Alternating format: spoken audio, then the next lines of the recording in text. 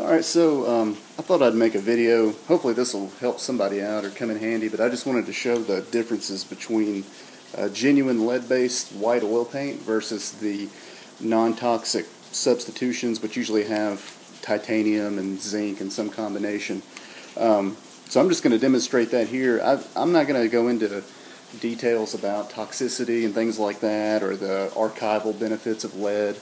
Um, I figure you probably, there's plenty of good videos that go over that stuff. I just want to demonstrate how it affects color uh, as a tinter, how it mixes. Uh, this is, in my opinion, where lead paint is really good, where it really shines. Um, not the only benefit, but what the reason I really like it is because you can lighten a color without cooling it down so much. Uh, you know, lead, um, excuse me, titanium and zinc, those are very cool whites typically, so they tend to sort of make colors a little bit chalkier, a little bit cooler. Uh, so anyway, I'm just going to do a little demonstration here and just show you uh, the differences between these. Let me show you what I've got. Uh, unfortunately, I don't have like 15 different paints to choose from, but I think I've got enough here to kind of show you. Um, hopefully this will show up on camera and be able to see the difference. Um, the lead-based white that I have is this Blue Ridge Kremnitz white. So Kremnitz is typically nothing but PW1, uh, lead carbonate as the, as the only pigment. And he makes this with uh, walnut and safflower oil. This is about, I think about 18 bucks a tube, which is cheap for Kremnitz. That's a lot more than titanium, but it's for Kremnitz white, it's really cheap. In fact, Blue Ridge is probably, um, that's like the best value in oil paint in my opinion.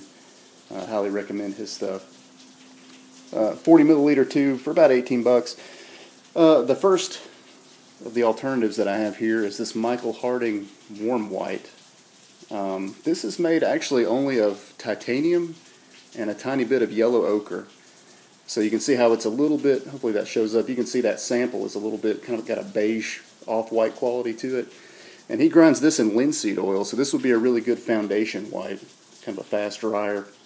Uh, and this is maybe about 10 or 11 bucks for a 40 milliliter tube.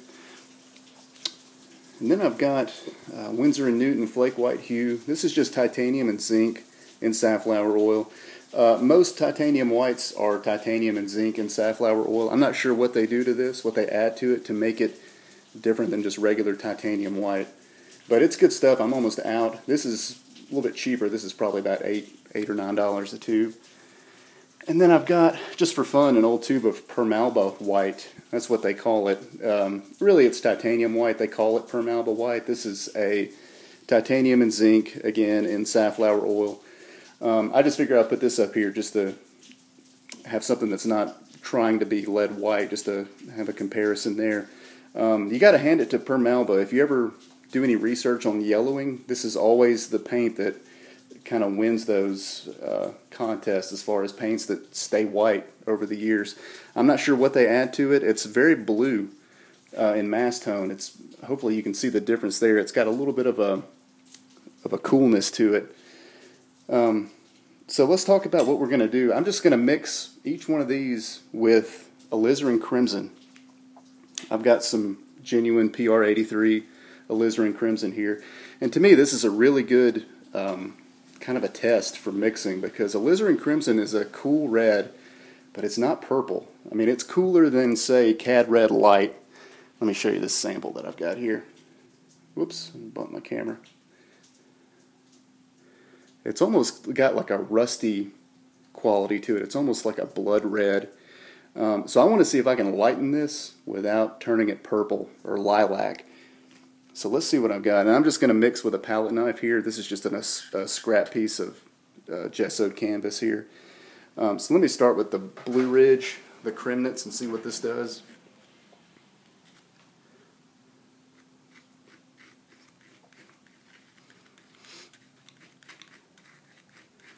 So already I can see that it's it's lightening it, but it's maintaining that kind of that sort of warmth, that almost like like I said, kind of almost like a rusty color. Uh, if you've ever used uh, alizarin permanent or permanent alizarin, whatever the brand might call it, those are usually a lot more violet than genuine alizarin. Here we go. So this is why, you know, real alizarin crimson and flake white or Kremnitz white, any kind of lead white, are kind of like staples for uh, portrait painters and figure painters because they're you really don't lose that warmth. And I'm just going to kind of rub it across this this line right there. You can see that it's pretty transparent. Um, Kremnitz white is not very opaque, um, and that's also good for painting flesh because you know flesh is not um, you know it's got sort of a luminous quality. You you wouldn't want it to be too opaque. So there we go. That's that's the Kremnitz white and crimson. Now let's do a comparison to next up is the Michael Harding warm white.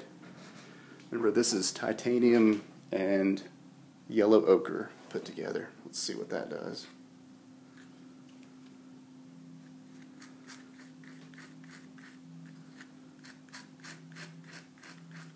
So it's very strong, even though it's uh, it's got the yellow ochre in it. It's still, to my eyes, really cooling down that um, that alizarin. You can see if you put those together, hopefully that's showing up on camera, but this has got a lot more of that sort of blood red undertone. This is a little bit kind of going towards like a lilac almost. Add a little bit more. And that's that's interesting considering that it's got the, the yellow ochre added added to it since that's the complement of violet.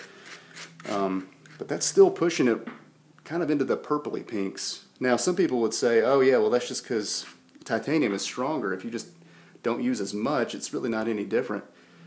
So let's try that. Let me put a little bit more alizarin and see if I can match the value and just see what the color does.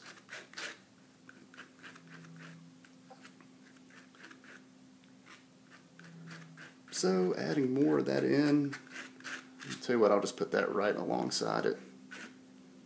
So if we look at the differences there, again, I'm still way on the purple side here, more on the on the deeper red here with the lead. I'll go even more with the alizarin.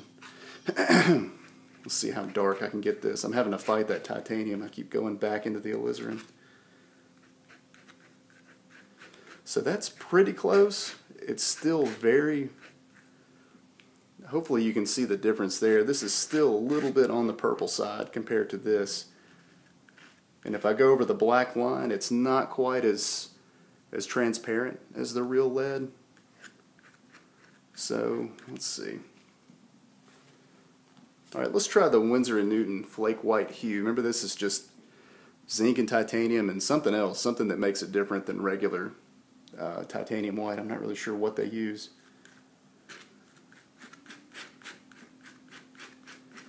So this one definitely is weaker than the Michael Harding. Um, I put a pretty big glob in there and it didn't didn't shift it up too much. I think that's because of the zinc. It makes it a little less overpowering. Uh, so we put those together. This matches the Michael Harding pretty close to my eye. It's close, you know, it's it's getting there. Still looks a little bit more purple to me put a little dash of it right there. Just hopefully you can see the difference between those two. Um, not like huge difference, but there is a difference. And I'll do the same thing and kind of try to tone this down with more alizarin and just see what happens.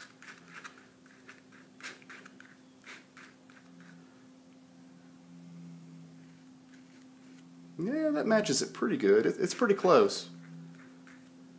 Let's try the transparency. I'll just do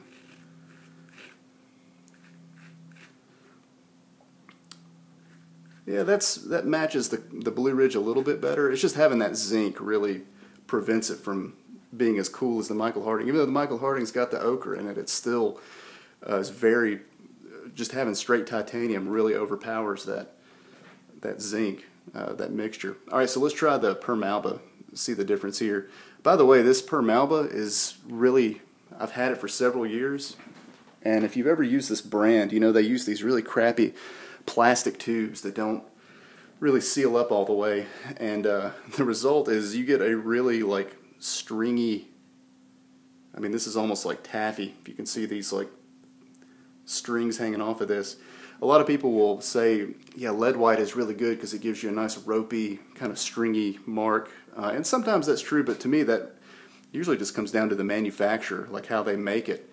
Because um, sometimes lead paint's very soft and smooth. Sometimes, you know, other pigments also have that ropiness, just like this. Um, but anyway, that's kind of interesting. Let's see what this looks like. This is pretty stiff. Again, it's like halfway dried out. Whoops, I'm shaking my camera trying to mix this.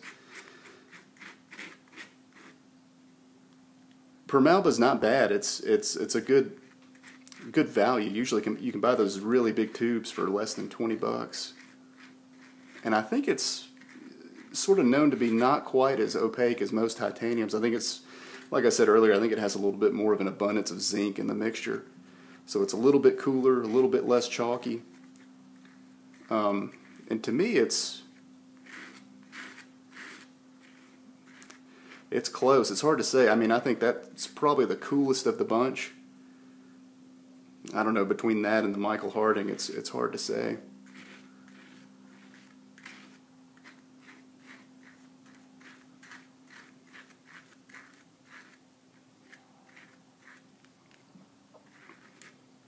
So all I'm really looking at here is just the tinting characteristics. What, how is it shifting? Are these shifting cool or warm? Um, to me, I think you know, as far as the colors staying warm, you you can't beat lead white. But the second place, I would probably give to the Winsor and Newton flake white hue. Uh, that's pretty close. We're again, we're maintaining that that really rich, um, deep, almost brownish red quality that you can kind of see in alizarin somewhat, like I showed earlier. It's not shifting it too purple. Uh, Blue Ridge is my favorite. Um, I like to keep titanium on hand for painting like blue skies, things like that, things where I'm not really um, that concerned about a warm, luminous uh, luminosity kind of showing through. But you can probably see, you can understand how portrait painters and figure painters really swear by a good Kremnitz white. So um, hopefully this is sh uh, showing up well. I don't make videos often, so I don't really know how clear this is going to be on screen, but that just kind of shows you sort of the difference, you know, what lead does in a mixture. So uh, hopefully this this helps you out somewhat. Uh, if you have any questions, leave it down there below, and I'll do my best to answer. All right, bye-bye.